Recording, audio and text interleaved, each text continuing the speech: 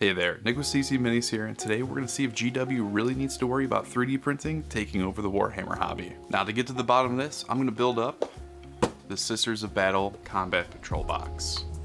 And I'm gonna print one. Alright, let's do this. We're going to start by getting our first print going. Then we can build some GW minis while that prints. Now, I'm by far not a resin 3D printing expert. I'll quickly run through the print preparation process, but if you want a more detailed explanation or really want to figure out what you're doing, I recommend you go watch Battle Brothers Sam or Nate's Miniatures. I'll put a link to their channels down below. The gist of it is to open up some software called a slicer. Then find the files you want. Today I'm going to print out some Blessed Sisters from One Page Rules. These are the sweet spot in being close enough to GW in design that they are great proxies, but not so close that I'm worried about them getting like DMCA'd and totally removed from the internet. And once you have the models you want, you just drop them right in the slicer. Hit slice, let the software do its thing for a couple minutes, save that onto a USB drive, plug that USB into the printer, and get it printing. Now, Creality was nice enough to send this printer over to me to try out and share my thoughts on it.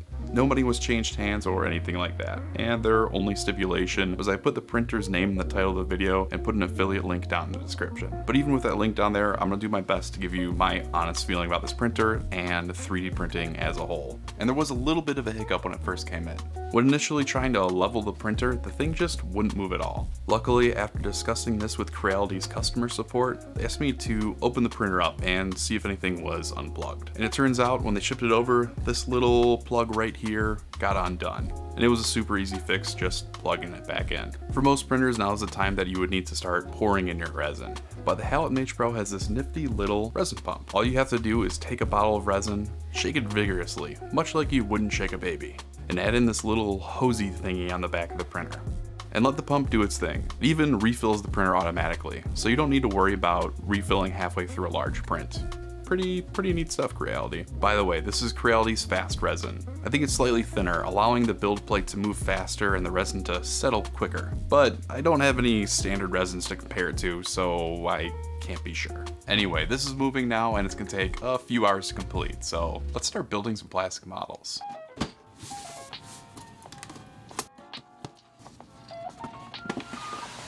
For infantry models, I like to find and clip out all the different parts for each model and a unit, before I start to clean up all the little different pieces. I remember this process being a lot more enjoyable when I was younger, and I think I figured out why.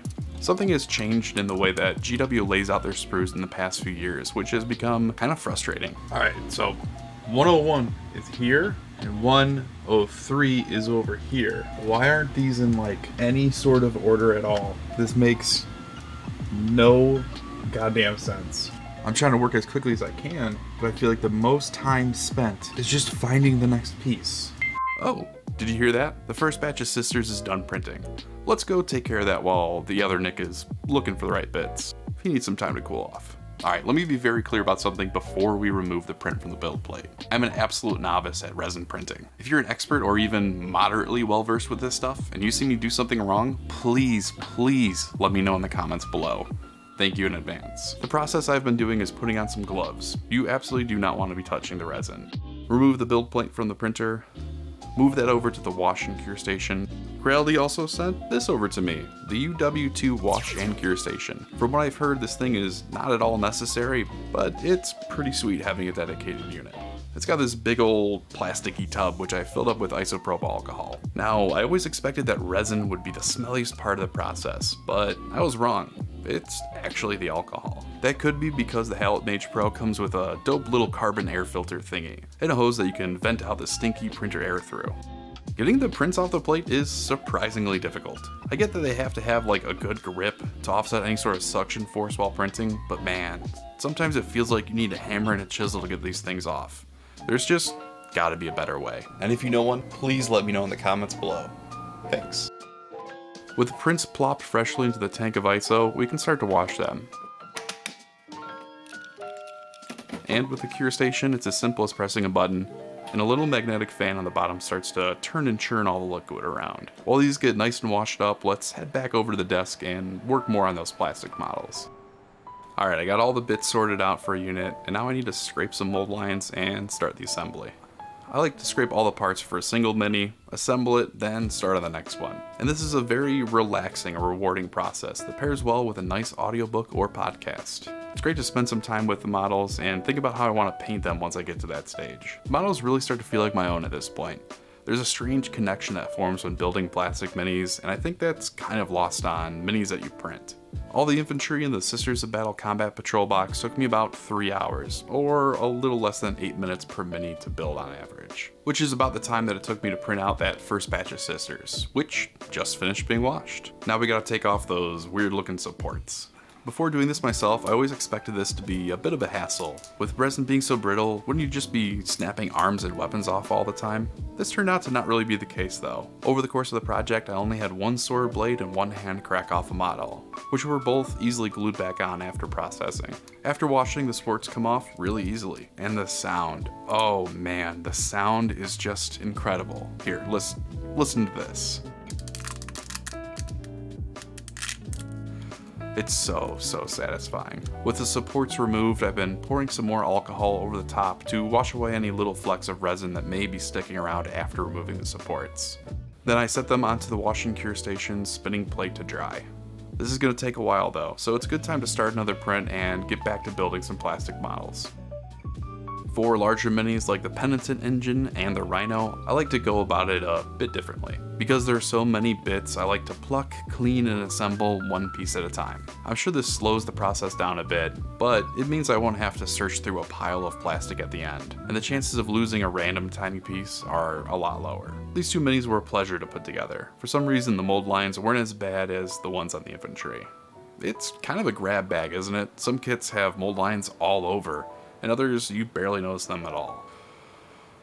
By the way, I'm sweating because I have to turn my air conditioner off, or you're going to hear it on the microphone. It's really hot in here.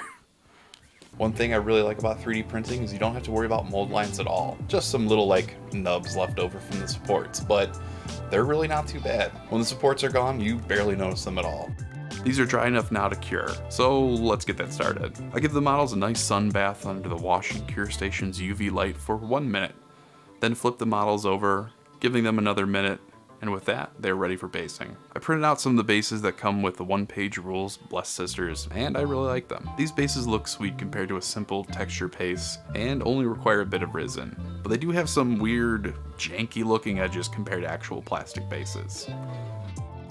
Placing minis on resin bases is a piece of cake. Just a bit of super glue does the trick. I have noticed that resin on resin connections take a bit longer to dry than plastic to plastic or plastic to resin, with super glue at least. Nothing crazy, but something to keep in mind. A bit of super glue accelerant, or of course baking powder, goes a long way with this stuff. This was super useful while putting together the printed tank and what I'm going to call the counts as penitent engine. Honestly, I think this thing would work better as a Paragon suit, but it's like the one mini that the Blessed Sisters line didn't have a good one-to-one -one proxy of. So this will have to do. I used the same resin basis for some of the plastic sisters as well, and primed a few of them up to paint. Now to really see the differences between the two, I chose a painting method that will accentuate the layer lines as much as possible. Alright, you know it already. It's, it's slap chop. Started with a Zenithal Prime, darkish gray first, followed by a brightish gray from above. Then I used a dark black wash all over to darken the recesses even further.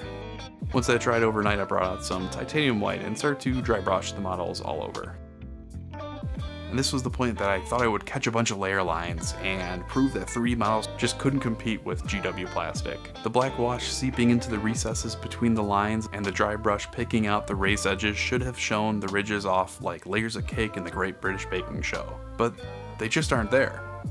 At least not to the naked eye. If I break out a macro lens, sure, you can see all the layers on the shoulder pads, but that's really it and comparing the GW model to the printed version side by side, man, it's hard to tell which ones are better. And I think it just comes down to which sculpts you prefer. The Blessed Sisters absolutely look incredible to me, but I also love the GW ones. So GW should be worried about 3D printing, right? Well, no, not really. I mean, a little bit. Um, I don't think it's going to be the end of GW like a lot of people think it's going to be. Yes, 3D printing is a lot cheaper than buying plastic Warhammer kits. This Combat Patrol box costs $160 MSRP, versus the resin I used to print only costing about 40 bucks. It took me a little more than one bottle of Creality's fast resin to print these off at 30 bucks a bottle. But that ignores the price of the printer completely, so I don't think it's a good comparison. For the average Warhammer player that plans to have just a single army, I don't think 3D printing is the route to go. And that is the average GW customer, and who their target audience is. They expect people to get into the hobby, spend four to $700 on their first army, get bored of it after a year or two, and move on. And for those folk, I think missing out on that connection that you get from building your own army yourself would be a shame.